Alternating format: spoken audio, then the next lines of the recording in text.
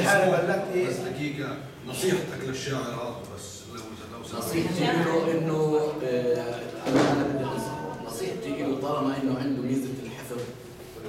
إن أهم شيء الحفظ طالما عنده ميزة الحفظ إنه يستغل هذه ميزة الحفظ بالقر- بالقراءة ويكتب منه.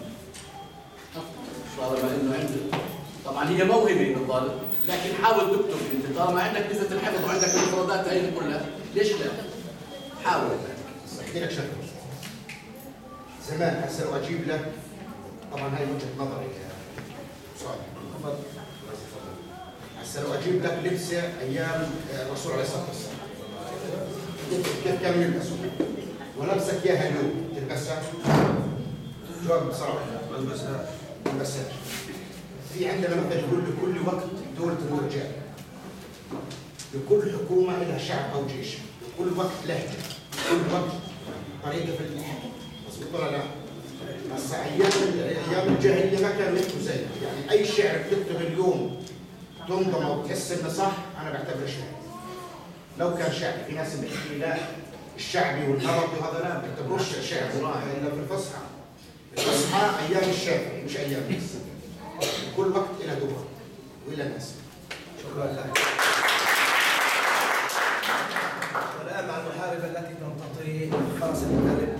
فرح شتية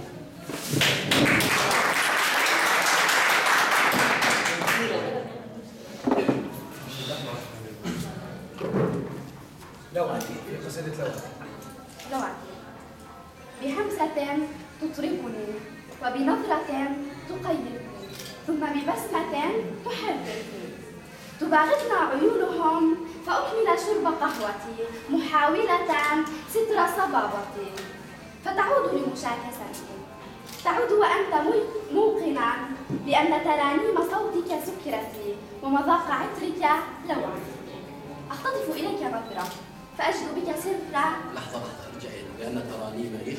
صوتك. ترانيم صوت صوتك إيش؟ سكرتي سكرتي يلا بس كمل كمل كمل. إليك نظرة فأجد بك سر سر فرحتي وبم... وبملامحك أمان غفوتي. فأغفو وأغفو وأغفو.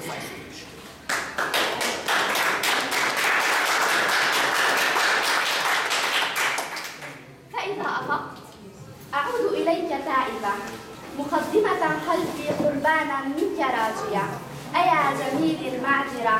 فللعشق قدسية طقوسها تكمن فيك أنت.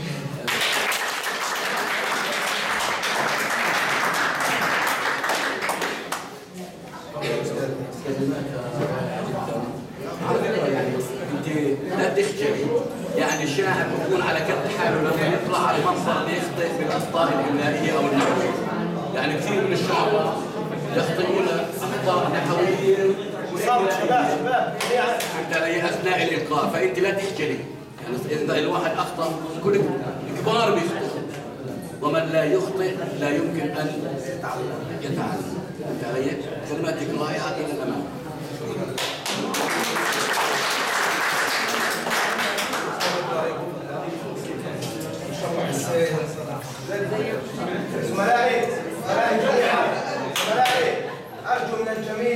الالتزام بالصبر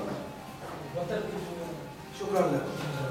هي رائعة جدا كلماتها حلوة بس دائما الارتباط الارتباط مع لما يكون أول مرة خصوصا كيف تفكيرك قاعدين الساعة آه أنا على فكرة يعني أنا بين كل الناس يعني أكثر بني آدم بنت ولده بنت أنا في الفعل قاعد بعد ولا اشتغل حاسس حالي هيك زي مرقص فكيف لما يكون واحد جديد ولا واحد لطيف بالعكس أول أنا بشتغل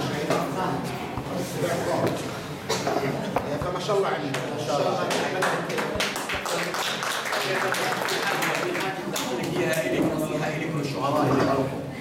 لما يلقي لما يطلع يلقي القصيده يعتبر نفسه قاعد بيلقي لنا الايله الايله لوحده يعني ما ما يطلع إنه والله هذا بتطلع علي أو هذا مش يمكن ينقدني أو هذا ممكن كان يمسك لي خطأ أو كذا. لا يعتبر نفسه إنه ما فيش حدا في الصالة قاعد يحكي لحاله ممكن كلمة آه، مرة الخير.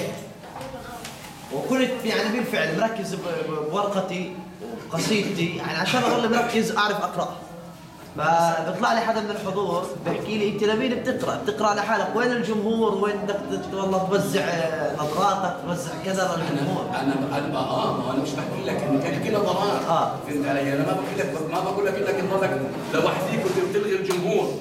أنا بحكي لك إلغي الجمهور بذاكرتك. يعني أنت ما تخلي فيهم فيهم رهبه انساهم انهم موجودين ما تخلي حالك فهمت علي؟ ما تخليهم حاجز بينك وبينهم.